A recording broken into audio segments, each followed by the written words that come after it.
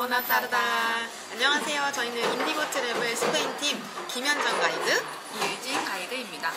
저희가 여기서 무엇을 할 거냐면요. 저희 항상 가이드이기 때문에 여러분들에게 무언가를 소개해주는 특히 뭐 바르셀로나, 가우디 얘기를 주로 하잖아요. 근데 저희가 이번 영상에서는 저희를 소개를 해보려고 합니다. 안 궁금하실 수도 있겠지만. 첫 번째 질문. 왜 스페인을 선택하셨나요? 아, 나는 왜 스페인을 선택했어요? 스페인을 선택한 이유는 저는 어, 대학생이었을 때 대학생들이 꼭 하고 해보게 되는 배낭여행 있잖아요. 저도 배낭여행을 했었는데 많은 유럽 나라들을 돌아다녔어요. 근데 스페인은 사실 기대가 없었는데 와보니까 생각보다 너무 좋은 거예요. 그리고 각각의 도시를 다닐 때마다 스페인은 그 같은 나라에 있는 다른 도시를 돌아다니는 게 아니라 다른 국가를 여행하는 것 같다라는 느낌을 많이 받았어요. 진이는? 진이는 왜 스페인으로 오게 됐어요? 저는 대학교 때 교수님께 여쭤봤어요. 어떤 언어를 더 공부하면 좋으냐. 전 영어가 너무 싫었거든요. 그래서 그때는 중국어가 한참 뜰 때여서 중국어 공부할까요? 라고 물어봤는데 그때 교수님께서 하시는 말씀이 너가 지금부터 중국어 공부를 하면 마스터 할 때 아마 넌 뒤쳐져 있을 것이다 라고 이야기를 해주셔서 그때 추천 되게 현실적이네요, 그분이. 교수님, 감사합니다. 음, 진짜 감사드려요. 그래서 그때 조언 받았던 게 아랍어, 스페인어 두 개였어요. 그래서 아랍어는 뭘 안 끌렸어. 그래서 스페인어를 그때부터 혼자 공부하기 시작을 했고, 그리고 학원도 다니다 보니까 스페인어도 재밌어졌고, 스페인을 더 알고 싶어서 여행도 갔고, 아나처럼, 그리고 저는 교환학생도 했었어요. 어학연수도 했고, 그러다 보니까 스페인이라는 나라에 대해서 점점 매력, 흥미 다 느끼게 돼서, 이제는 좀 더 오랫동안 살아보고 싶다라는 생각이 들어서 저는 스페인에 오게 되었습니다. 아슬라말라이쿰. 그럼 이제 두 번째 질문. 왜 가이드가 되었나요? 저는 여행을 다니다 보니까 제가 알게 된 정보들이 있을 거 아니에요. 새로운 거, 그리고 제가 개척해낸 이런 정보들, 음, 그런 걸 같이 여행에서 만난 사람들한테 진짜 공유하는 걸 좋아했고, 거기에 재미를 느꼈어요.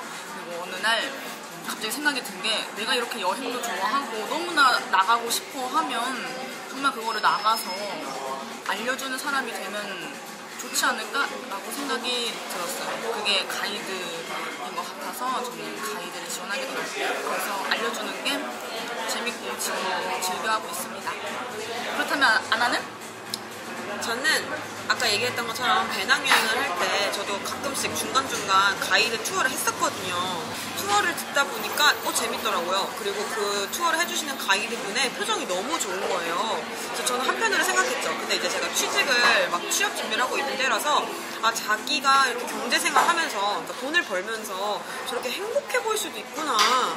그 생각이 딱 들면서 어 가이드 괜찮겠는데 그런 생각이 또 들었고 또 솔직히 말하면 가이드 이 업종을 하는 사람들은 약간 다들 관종기가 있거든요. 그래서 그것도 딱 맞아 떨어진 거죠. 그래서 저는 가이드를 하게 됐고 지금까지도 저희는 다 즐기고 있습니다. 세 번째.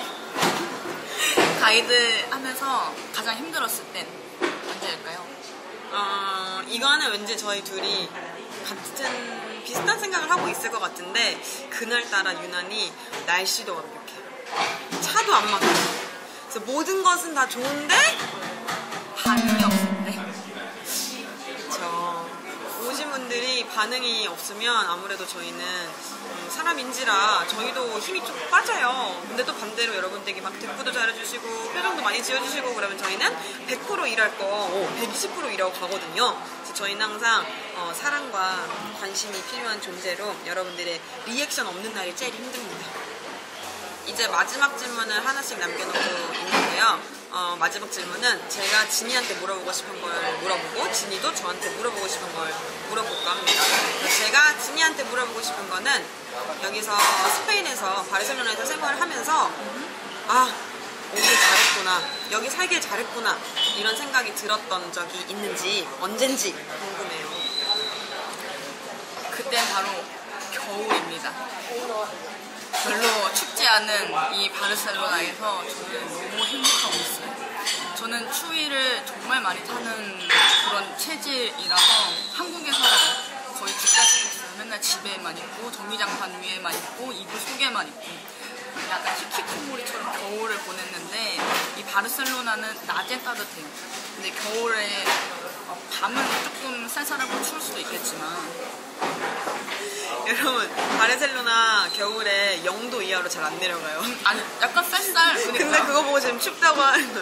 서울 사람 한국 사람들이 욕 먹어요. 한국 마이너스 어. 20도예요. 네, 그 어쨌든 음, 그래서 저는 너무 만족스럽고 너무 행복해요. 겨울에 어. 이렇게 춥지 않고 겨울에 약간 따뜻한 그냥 외투 하나만 코트 하나만으로도 날 수가 있다는 사실이 그리고 밖에 나와서 또 테라스에서도 좀 식사를 하고 커피를 마실 수 있는 이 문화가 저는 너무 좋아요. 테라스 문화도 정말 사랑하거든요. 자 이제 아나에게 마지막 질문. 아나에게 가우디란? 가우디. 사실 많은 분들이 아시겠지만 바르셀로나가 가우디의 도시잖아요. 그래서 제가 가장 많이 했던 투어가 또 가우디 투어이고 앞으로도 제일 많이 할 투어가 가우디 투어예요. 가우디는 솔직히 딱 한마디로 애증이죠. 근데 어쨌든 지금은 저희가 어, 바르셀로나 투어 재정비 동안 거의 한 달 동안 투어를 안 했거든요. 그래서 지금은 빨리 가우디를 만나고 소개하고 싶어요. 지금은 완전 어, 기대하고 있습니다. 양파 같은 존재. 가우디 씨. 기다려.